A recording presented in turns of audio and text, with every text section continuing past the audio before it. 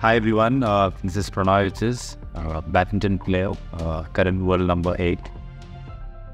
I think uh, for me uh, personally, there has been immense growth uh, uh, in the sport of badminton, especially in the last one decade. I think we have seen a lot of medals coming to badminton to India, especially in the major events, Olympics, World Championships, Asian Games, and to be a part of that list, I think I'm really, really proud of my achievements. The support which I think the entire badminton uh, fraternity is getting from a lot of different places has been immense, and uh, I the growth has been really, really uh, towards uh, upwards, and probably in the coming years we'll get many more uh, medals for our country. And thanking all the support from the TOPS which has been uh, given to the players uh, in the last one decade, and uh, and thank you REC uh, for all the support uh, uh, which you guys have been giving to the athletes uh, and to the entire nation. Uh,